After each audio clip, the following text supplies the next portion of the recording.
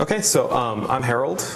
I'm going to be talking a little bit about uh, sort of things that you should consider when you're doing RNA-seq analysis. So I'm not going to be talking right now about how to use Kallisto, but um, sort of some overviews of what Kallisto does, as well as Sleuth and some of the other uh, methods that you might be using.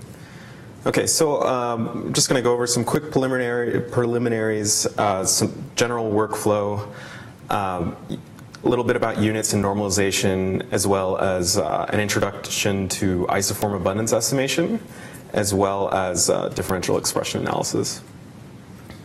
Okay, excuse me. Uh, so, okay, a fragment, I'm going to refer to a fragment as a physical piece of cDNA that was sequenced, okay? So there's an important distinction between a fragment and a read. So a read can actually be, um, two different reads can have the same sequence, but they actually represent different fragments, right? So it's important that the same sequence can actually represent different fragments um, because the physical process of sequencing the things could technically just happen to arrive at the same sequence from two different uh, transcripts. Okay, um, so I'm going to be using the asterisk a fair bit. Uh, it's just a wild card. Uh, basically means that it matches many things. Um, okay, and then the other sort of note that I want you to be thinking about a little bit is that uh, RNA-seq can be quite tricky, um, and you should be aware of all of the normalizations that are necessary to compare uh, quantities.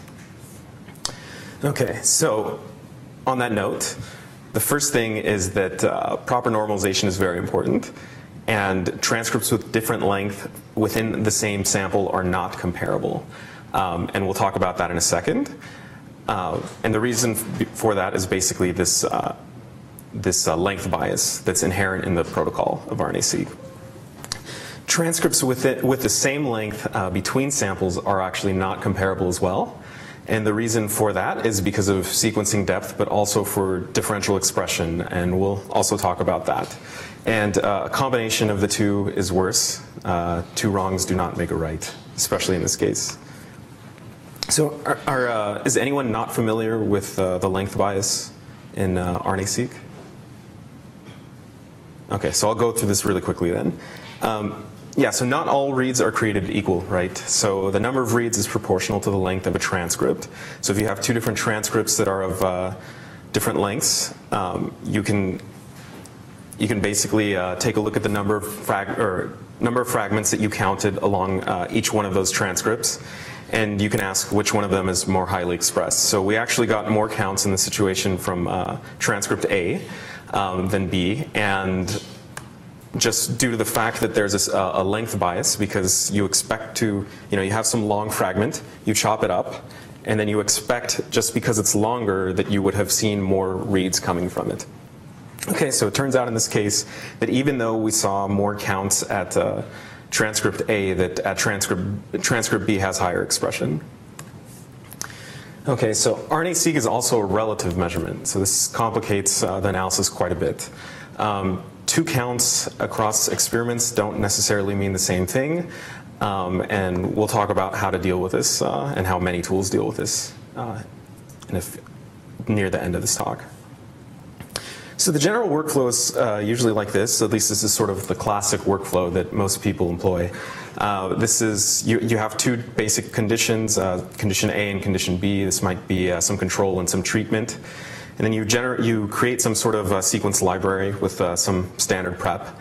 And then uh, this, this will give you, after you run it through the sequencer, um, you'll get some FASTQ files. You might do some quality control to make sure that the, uh, the experiment didn't go awry. Um, and then you'll take those raw reads and then you'll align them, and then you'll end up getting typically some sort of output that's a, a BAM output. Um, you can do alignment without or with an annotation. Without an annotation basically means that you're typically aligning directly to the genome. Um, and then you typically quantify somehow. So there's a number of different ways that you can quantify. I'll be, I'll be going over uh, the sort of the Kallisto and Sleuth pipeline. And then after that, you might ask uh, if there's differential expression. And you might get some targets from that differential expression analysis, and then you should do some follow-up experiments. By the way, if you have any questions, please, uh, please ask while I'm going through this. Okay, so this is sort of a newer workflow that, uh, that a lot of the new tools are, are trying to, to employ. This is uh, kind of what, uh, or this is what Kallisto and Sleuth do. We basically couple the alignment and uh, the quantification. So I'll talk about what this means. And uh, this makes your life a little simpler in the sense that there's less things that you have to keep track of, as well as uh, there's, uh, it, it's significantly faster than a lot of the previous workflows. So quality control. Um, so there's a number of different tools that do this. Uh, FastQC is one sort of uh, nice GUI uh, that allows you to sort of take a look at the quality of, uh, of the reads that come out of the machine. Um, so it's not as big of an issue as it was in the early Illumina days. Uh, this picture right here is pretty dismal, actually. Um, you notice that uh, at the very end of the reads, the, at the very end of most of the reads, uh, the quality is really, really bad. So in a situation like this, you'll often need to trim the reads uh, a bit just to get them to align or to not get a lot of spurious alignments. Um, and most aligners allow for trimming within the tool.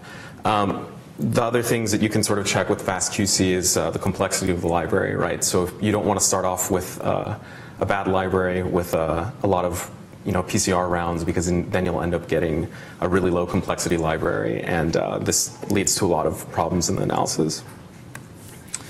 Okay.